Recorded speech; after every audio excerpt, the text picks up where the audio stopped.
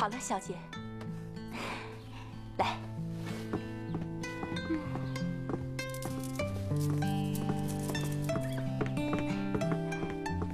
嗯，金铺钱庄染坊瓷窑。奶娘，我要不是看这些账本，我还真不知道咱们陆家有这么大的家底呢。那当然了，陆家可是京城有名的皇商啊。小姐，现在的采买的事儿也归你管了，虽说是件好事儿，可是你又要理瓷窑，又要理账本，哪有时间准备嫁妆啊？嫁妆？我爹不早就准备好了吗？那是老爷心疼你从小没有娘，给你安排了那么好的婚事，找的是守卫大人家的二少爷，连田产呐、房契呀，都是可了劲儿的给你。哎呀，小姐呀，眼看婚期就要到了，你这做新娘子的，也该给自己绣绣喜裙、喜被吧。奶娘，你知道的嘛，我根本就不想成亲。哎呦，又说胡话。这不是胡话，我真的是想继续做生意，或者像小时候那样跟着爹去西域走商队。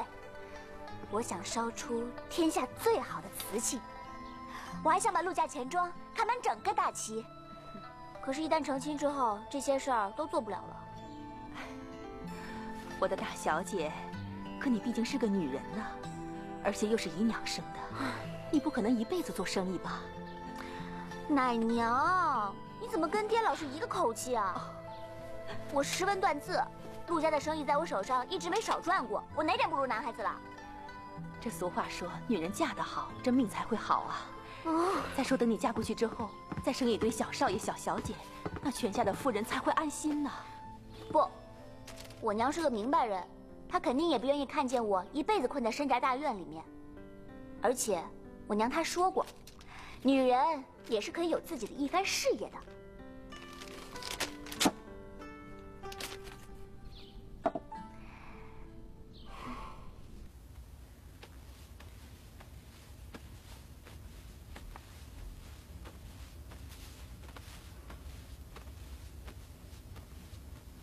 娘，娘，你怎么了？头疼。娘肯定是被昨天的事给吓着了，还好，幸亏姐姐聪明。不要跟我提这个小贱人，就是被她给气的。你说，我怎么就生了你这么一个没有出息的丫头啊？你知道吗？那个贱人把你舅舅的采买的差事都给抢走了，那哪叫抢啊？姐姐本来一直就在帮爹做生意，顶多多管一摊采买，这不算什么大事。这还不算什么大事吗？你知道吗？他手上随便掌管着几万两银子的生意，可你呢？所有金银首饰加起来都还不值三千两。到时候他把钱全搂在自己的袋子里，我看你哭都来不及。姐姐不会那样的，再怎么说。她也是陆家的大小姐啊！什么陆家大小姐？她就是个姨娘生的贱种。你说说你，你怎么就不争气一点，也学学写字管账什么的？你是我的亲生女儿，什么风头都被她一个人给占尽了，你就不想跟她争吗？争争争！我拿什么去争啊？谁让我没有像她那样有个琴棋书画什么都会的亲娘？谁让我有个不争气的舅舅，整天偷鸡摸狗的，在这里一点好名声都没有？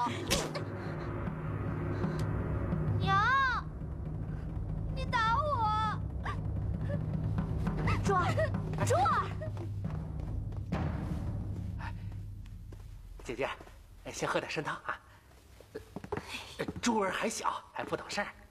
什么还小？今年都十六了。那个小贱种十岁起就跟他爹学做生意了。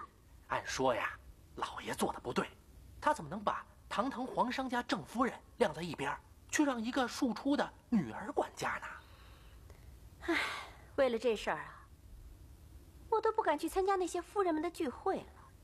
一提起这事儿啊，我这脸上一点面子都没有。老爷糊涂，咱可不能糊涂啊！这陆贞的本事是越来越大，早晚的陆家还不是他说了算。就算你不为我这个弟弟着想，你也得为珠儿着想，不是？你的意思是，我们还得再快点？来，姐姐，您喝参汤。都凉了。哎呀，好了，别哭了，你还不知道大娘，她就是个刀子嘴豆腐心，你别跟她生气了啊。她老说我没你上进，没你有出息。好了好了，别哭了，你不是喜欢这些吗？我这有好多，你随便挑一个吧。姐，这都是你的嫁妆，你舍得吗？废话嘛，从小到大你从我这摸走多少了？嗯。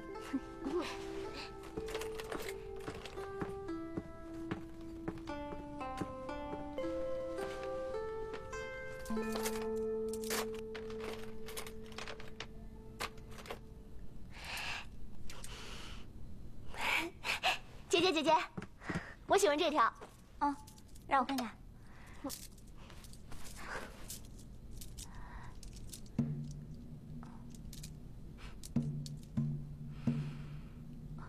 珠儿，你还是选条其他的吧，这珊瑚珠我不能给你。可是我就是喜欢这条啊，这条颜色不好看，你戴着也不适合，你还是选条其他的吧。你就是小气，就是舍不得把好东西给我，我就要这个。珠儿，吵什么吵？我在外面就听到你们在吵。他欺负我，他说好让我随便挑几件首饰的，我挑好了，他又不给我。爹不是这样的，这条珊瑚珠，我看看。珍儿啊，咱们陆家的一半财产都给你办嫁妆了，还不够啊？这一条珠子又不值什么钱，你就送给妹妹吧。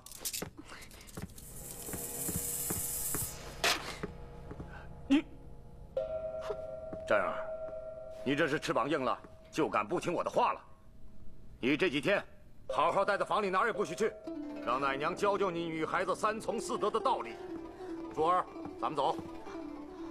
老爷，哎呦，我的大小姐，你没事好好的，惹老爷生气干嘛呀？你给二小姐不就完了？哎呦，奶娘，你不懂的。就算我爹罚我不准出门，可城外那几家铺子的生意我不能不管。所以啊，小环，你继续扮作我，穿我的衣服，读我的书。我呢，就先走了。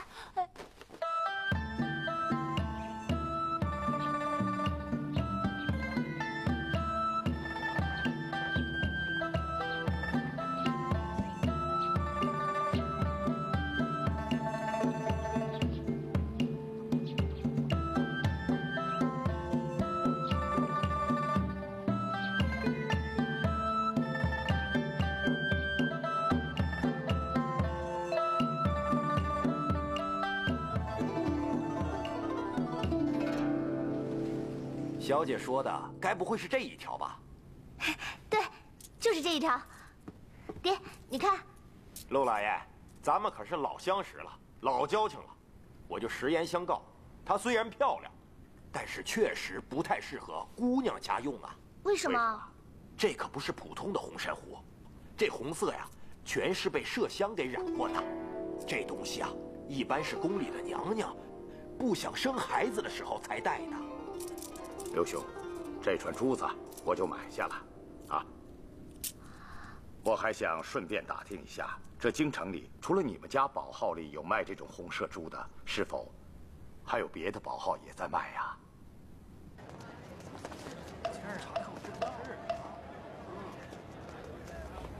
新皇登基，大赦天下。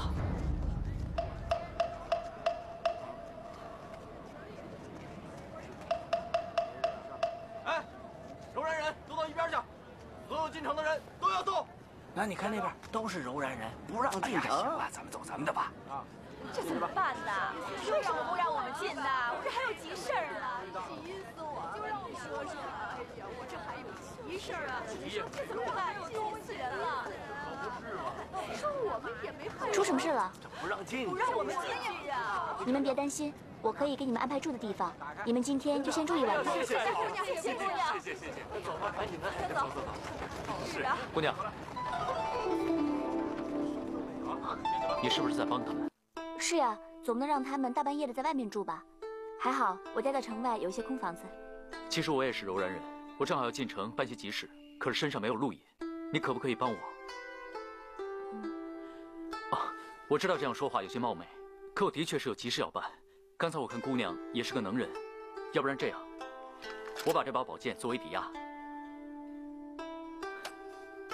姑娘，你放心，我肯定不会给你惹事的。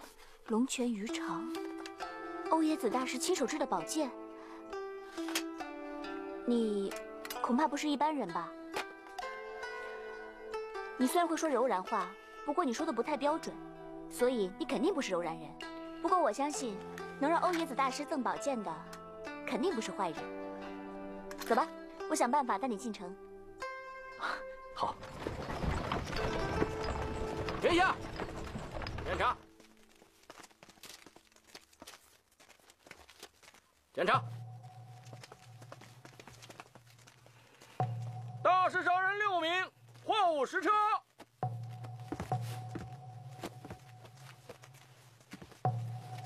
进去吧。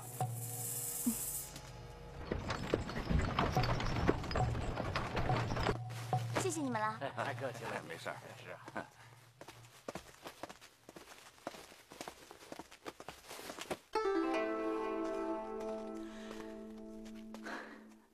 姑娘，谢谢你。你不用谢我，也算是你运气好，正好碰到我的湖商朋友愿意帮忙。姑娘，我看你是个爽快人，我就不多说了。如果下次有缘遇到的话，我一定请你喝酒。嗯。哎，等等，你的剑这么名贵，还是留着自己用吧。可是，人生在世，谁不会遇到需要帮忙的事啊？你快走吧。谢谢。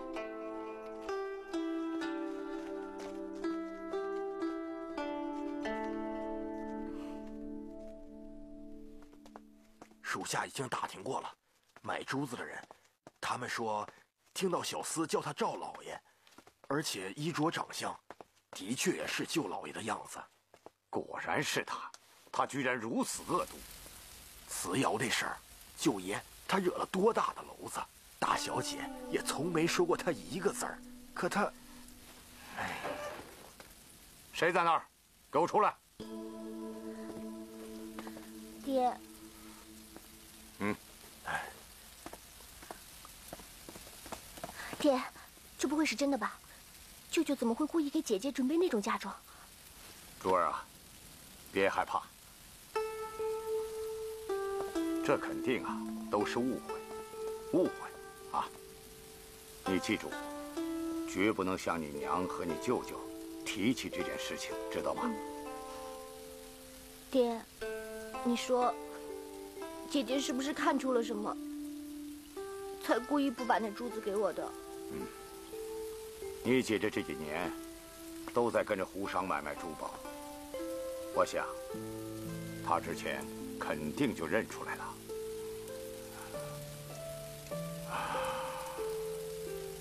我错怪你姐姐了。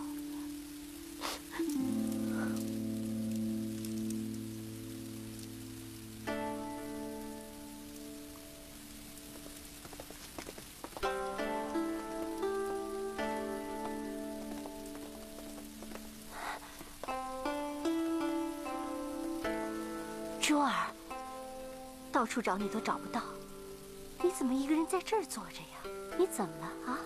娘，你告诉我，你有没有跟舅舅一起害姐姐？你有没有买过什么红麝珠？你在胡说些什么呀？我就知道，肯定是你跟舅舅，你们，你们太过分了！你莫名其妙的发什么疯啊？你撞邪了吧？珠儿。我怎么可能去害你姐姐呢？你刚才说的什么红珠子、绿珠子的，我根本不知道啊！你真的不知道吗？你怎么了？你跟为娘说说啊！怎么了？没没什么。既然娘你不知道，那就算了。哎，陆真，你这个贱人！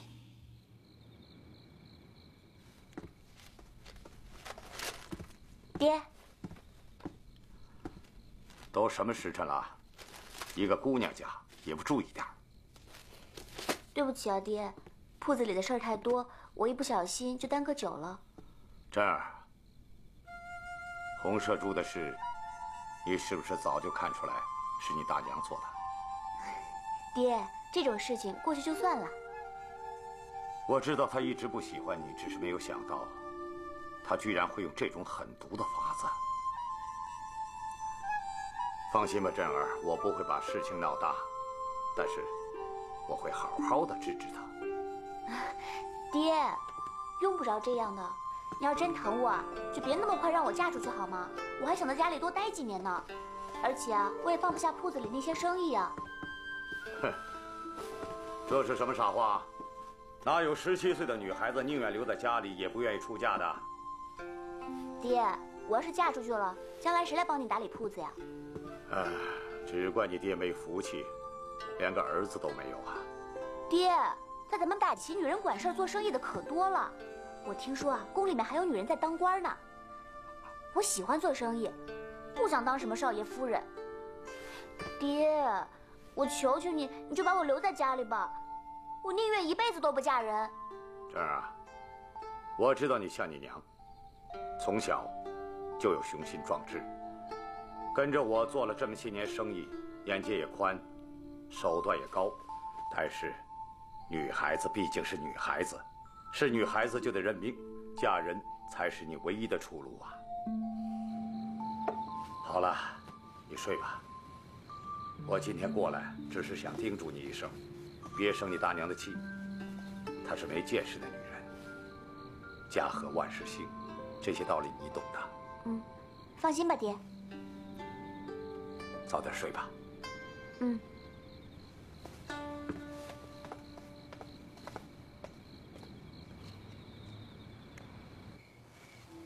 他的丫头告诉我，老爷今天在他房里待了将近一个时辰，两个人不知道商量些什么。只听到说什么金子、生意什么的。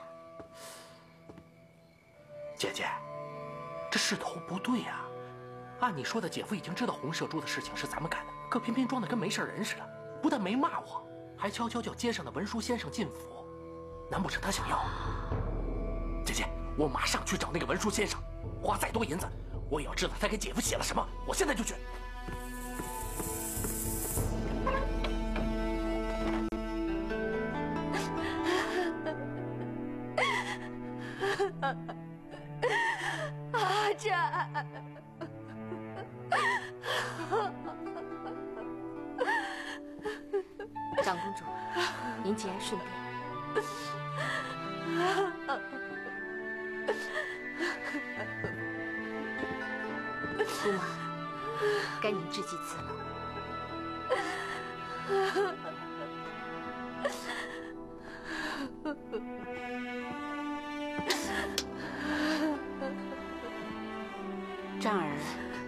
先皇最疼爱的皇子，先皇也曾多次说过，他才是最好的太子人选。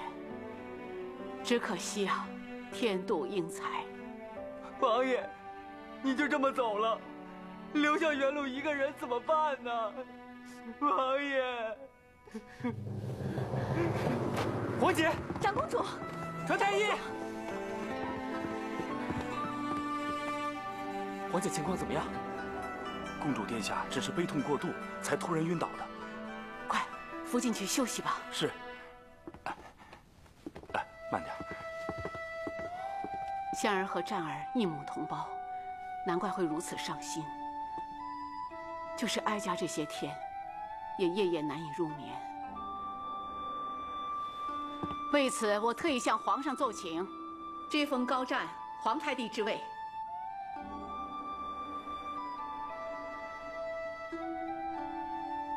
元福，是。奉天承运，皇帝诏曰：长广王高湛文武双全，才能卓越，喜英年早逝，特追封为皇太帝，钦此。臣弟领旨。王爷，王爷，王爷，奴才就知道你肯定还活着，王爷。现在不是你留忠心的时候，一边去。啊。臣弟不孝，未能及时赶回宫为父皇送葬，更连累皇上和太后为我担心，请皇上恕罪。快起来，快起来！你回来就好，你回来就好啊！至于这个皇位，皇上，皇上，您是父皇长子，继承皇位自是理所当然，而我今日幸得皇太帝之位，更是喜不胜收。从今往后，我将鞠躬尽瘁，励精图治，辅佐皇上您，振兴大齐。阿占，从今往后，你我兄弟二人齐心协力，大齐定能长治久安。皇上万岁万岁万万岁！长广王殿下千岁千岁千千岁！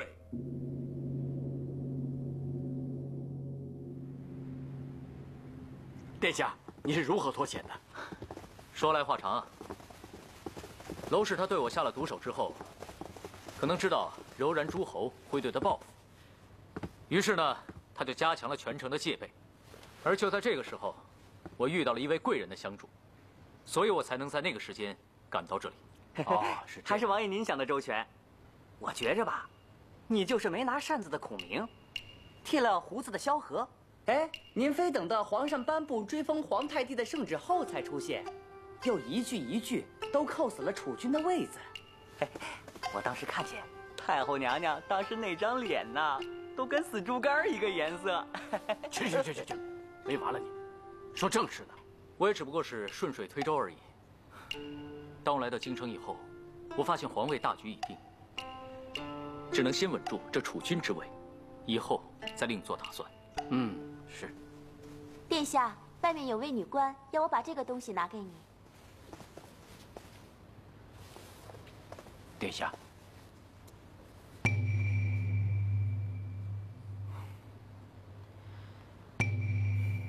把他带进来。是。你们也都退下吧。是。是。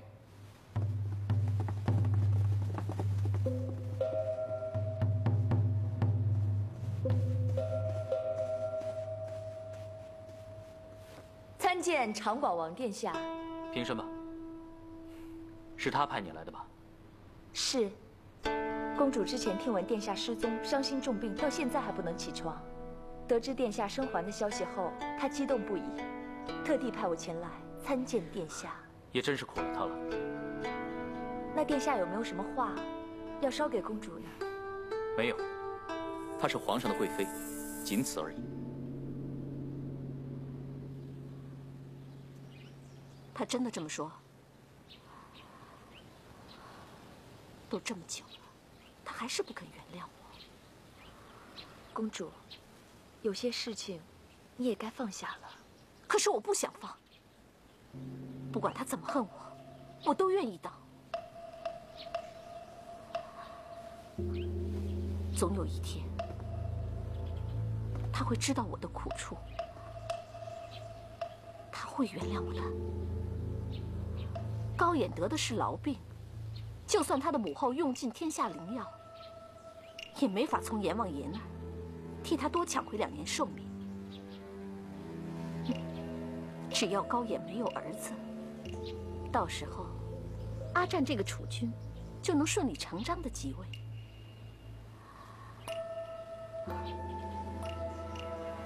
我记得你讲过，鲜卑有个古老的风俗。小叔是可以娶寡嫂的，是吗？是的，可是公主，此事事关重大，你万万不可。有什么不可？这几年在王府，我不都一直在这样做吗？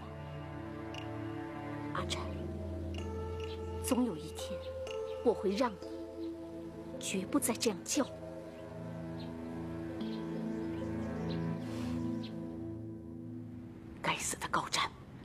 哀家还真小看了他的手段。现在就霸住了储君的位子，算准了眼儿生不出皇子，是不是？秦江，你马上下旨，给我广选美女进宫。可是，皇上向来都不愿意召幸那些美人。哀将不管。总之，无论如何，一定要让眼儿尽快有了自己的皇子。到时候再想办法，把高湛的储君之位给废了。哀家千辛万苦才抢来的东西。绝不能被他再给抢回去。是。姐夫怎么能这么做呢？这你说的是真的吗？千真万确。我的姐姐，我花了五两金子才买通那个文书先生。姐夫叫他来，就是来改遗嘱的。切，这下陆贞那丫头要发财了。姐夫又给她添了五千两黄金的陪嫁。这万一姐夫要是出了什么事儿，珠儿的财产是由陆贞代管，那我呢？哎，恐怕只有两个庄子吧。再说那也值不了几个钱呀。那贱人可是要出嫁的，她什么也不给我，这个老混蛋，他疯了吗？难怪红麝猪的事儿，他一字也不提。原来他在这儿等着我们呢。姐姐，你看这样下去，我们会有好果子吃吗？要不然，我们先下手为强。你说怎么样？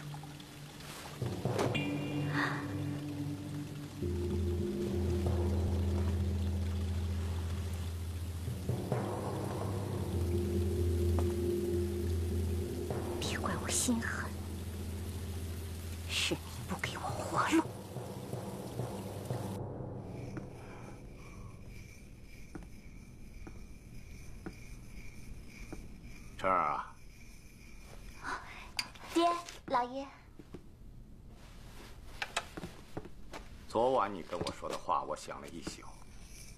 如果你真的要是不想那么早出嫁，我就跟守备大人商量一下，找个由头，再把婚期推上个一年半载。爹，你说的是真的吗？你别高兴得太早，我这样做啊，不是让你跟我去做生意。你看你现在这个样子，只会看账管家，连花儿都不会绣。再不让奶娘教教你的话，你就是嫁出去了，也会丢我们陆家人的脸。没关系的，爹，只要您不让我嫁人。不是不嫁，是晚点嫁。你看你笑成什么样子？你怎么会那么高兴啊？因为真儿舍不得你，舍不得你嘛。小香，快把我刚买的新茶冲一杯过来。是。爹，待会儿你尝尝这茶，我早上刚喝过，有一股淡淡的兰花香味儿，可好闻了。兰花香，嗯，一定是胡商送的茶叶吧？嗯。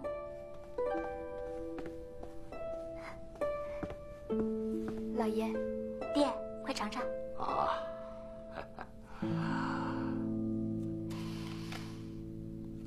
哎，小环，你不是去帮奶娘的忙了吗？哦，奶娘让我先回来了。哦，你下去吧。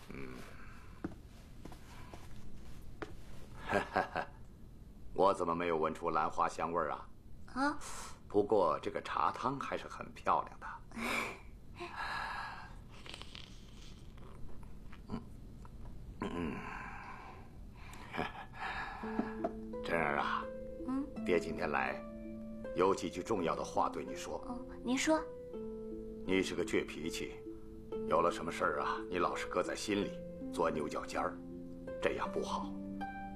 人生在世，这个心胸啊要开阔一点，有什么话要说出来。你有什么话不说出来，别人怎么知道你心里怎么想的？很容易误会你的。哦。再者啊，你呀总是记着别人的好，只记恩不记仇，那不行啊。将来会吃亏的。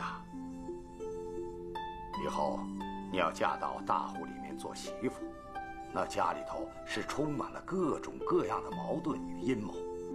你要不多几个心眼儿的话，你怎么在家里立足啊？爹，人情世故方面呐，你历练的太少了，以后得空我再慢慢教你吧。嗯。啊，哦，对了。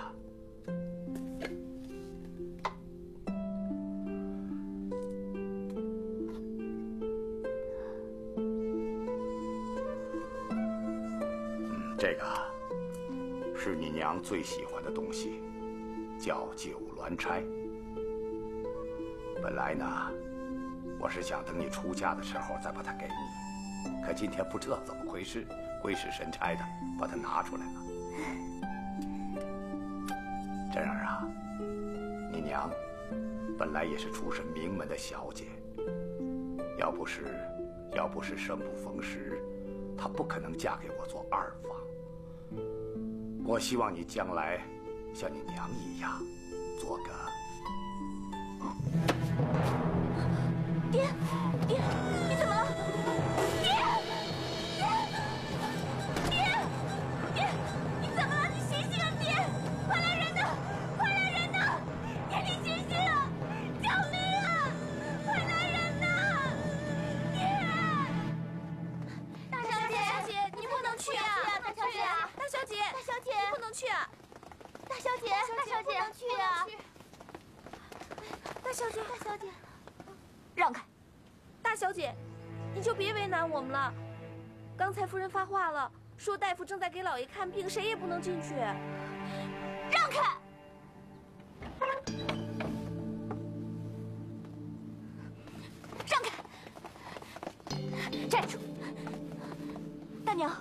么样了？你还有脸问？来人，把这个谋杀亲爹的小贱人给我绑起来！小梅，去叫族长和长老们来，就说我们陆家发生了忤逆案子，要他们来主持公道。什么？你胡说！我根本没有杀我爹。你爹就是因为喝了你端给他的茶水才死的。现在人证物证俱在，你还想要抵赖？我不信！你说谎！我爹根本没有死。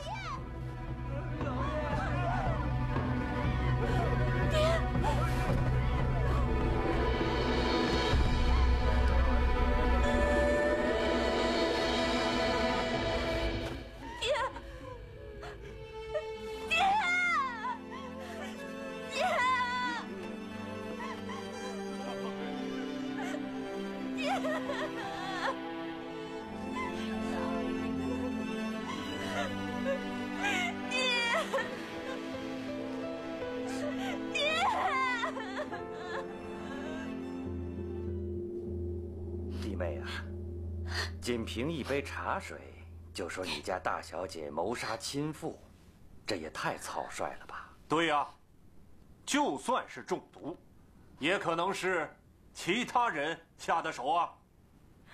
族长老爷，要不是铁证如山，我也不敢相信，竟然有人在光天化日之下杀害自己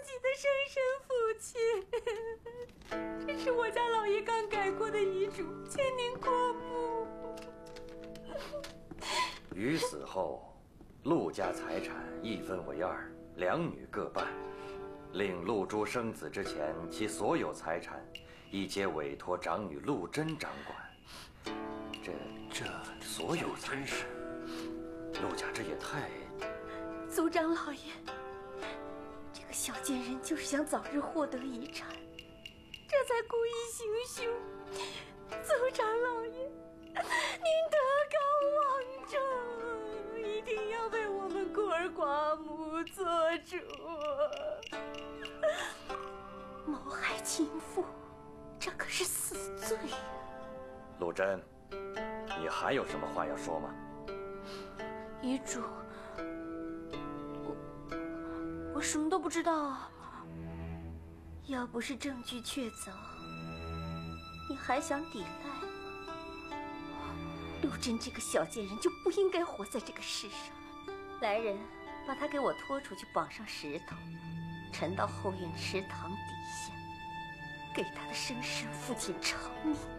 我没有杀我爹，我没有杀我爹，我没有杀我爹，我没有杀我爹！放开我姐姐，我姐姐不会杀人的，我爹绝对不是我姐姐杀的。说话，娘，闭嘴！族长老爷，我爹既然给我留了遗嘱，能不能让我看一眼？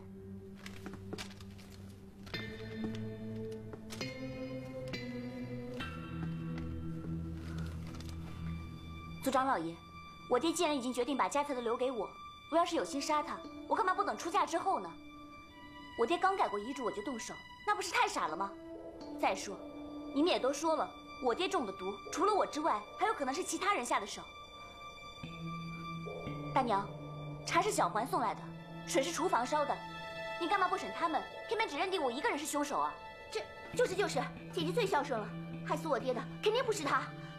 你说的也有道理。小环在哪儿啊？小环见过族长老爷。小环，你说老实话，到底有没有在茶水里做过手脚？老爷冤枉啊！茶叶是大小姐买的，水是厨房烧的，我只是冲了一泡就送到小姐房里去了，哪里有什么时间做手脚啊？不对啊，那个时候我叫的是小香，怎么上来的换成是你了？小香，你过来，说说那会儿到底怎么回事？小姐，我那会儿本来已经在泡茶了，可是当时小花姐突然跑来和我说，找我有急事。哦，对了，她跟我说，管家找我有事，我就过去了。这不是没有的事儿吗？今天我根本就没有找过你啊，小香啊！族长老爷，你能不能请仵作来，仔细查看一下我爹喝过的茶水？我觉得里面肯定有问题。我让小香泡的茶是胡商送给我的，我以前喝过，有股浓浓的兰花香。可是今天我爹喝的时候，却说什么味道都没有。所以那茶叶肯定是被别人换过了。另外，如果按我大娘说的，我想提早霸占陆家的财产，那为什么我还要特意挑在自己的房间里下手？如果让我爹死在其他地方，那我不是更没有嫌疑了吗？还有，我爹才死了没多久，这遗嘱怎么那么快就到了我大娘手里呢？你血口喷人！我怎么会害老爷？好了，别说了，管家，你还是去衙门请个仵作来吧。至于这个小环，来人呐，把他给我绑起来。是。是。放开我！放开！不用去衙门了，老爷是我杀的。是。他杀的。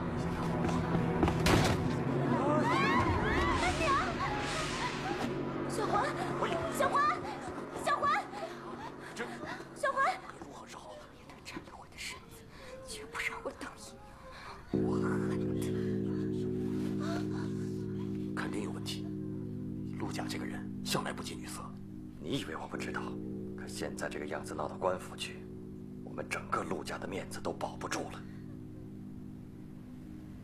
啊，事情已经很清楚了。小环恶意杀主，罪不可赦。不过，他既然已经自我了断，这件事情也就到此为止吧。弟妹啊，既然小姐是无辜的，你就赶快放了她吧。那好吧，替他松绑。他虽然没杀人，可小黄毕竟是他的丫鬟，这管教不当，罪不可赦。罚他在佛堂里面诵一个月的经，超度我们家老爷的灵魂。您看，这样行不行？这就是你自己的事了。今天的事，就麻烦各位长老了。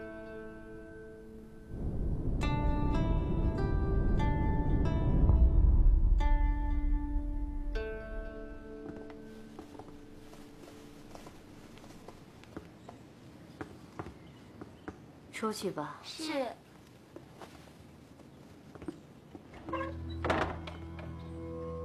出来吧。哎，姐姐，哎您喝茶。哎，哎，姐姐，这次可真险呐！没想到陆贞那丫头命还真大。好在小环这丫头知道好歹，回头多给她加了几两金子。啊，是。这陆贞留在这儿，总归是个祸害。你放心吧。早上我在给老鬼下毒的时候，就都已经安排好了。还是姐姐高明。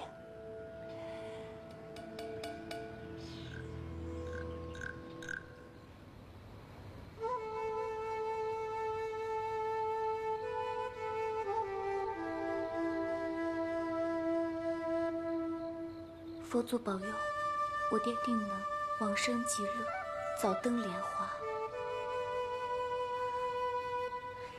姐姐，珠儿，你怎么来了？姐姐，你快点想办法逃出去。我刚才听娘和舅舅在商量，说明天一大早就要把你嫁给西家王老爷当小妾。娘说她聘礼都收了，整整两百两黄金。王老爷他都已经快七十了呀。对呀。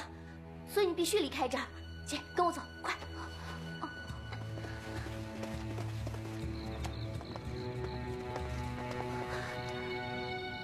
快走！啊。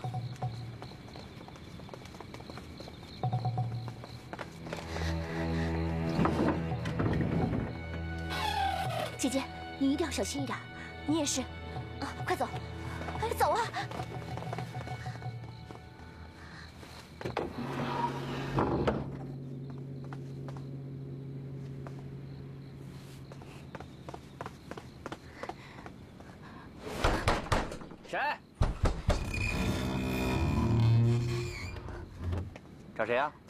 小哥，麻烦你帮我通报一下你们家二少爷，就说我有急事找他，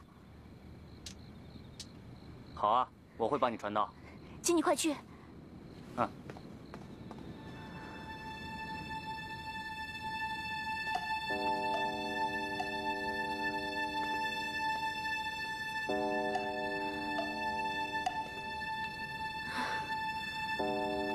这么晚什么人？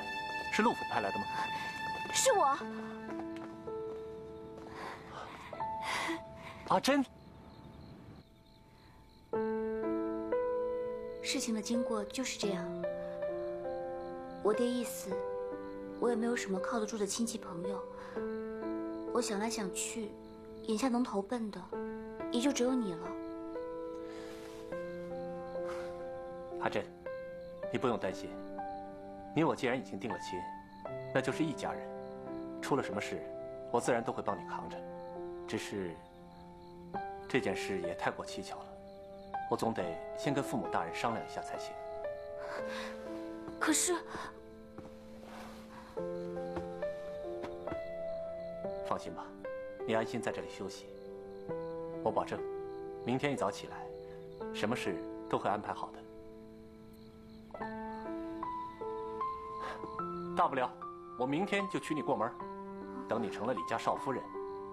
到那时候，我相信岳母大人总不会再胡思乱想了吧？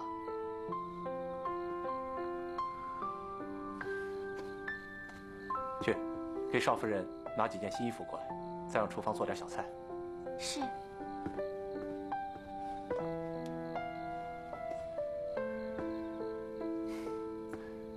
甄妹妹，折腾了这一晚上。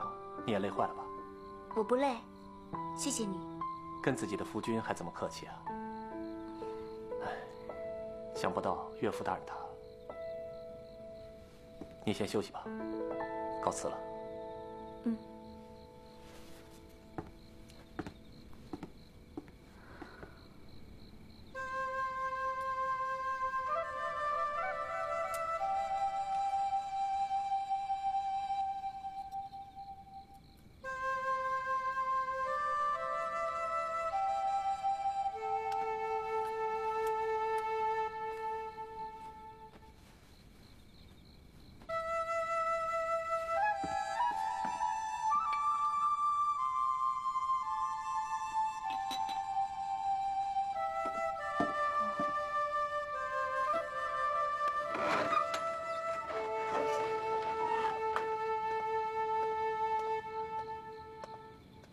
在哪儿呢？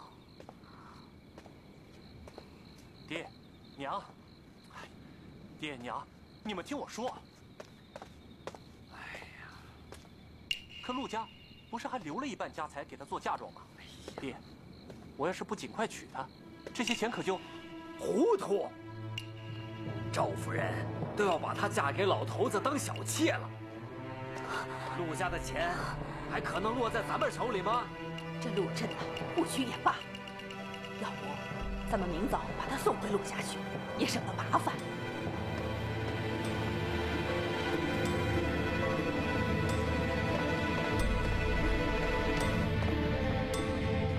哎，站住！你是哪方的丫头？这么晚了去哪儿啊？有腰牌没有？我是大夫人今天叫过来的绣娘，刚忙完事，正急着要回去呢。今天来了绣娘？我怎么不知道啊？抓住他！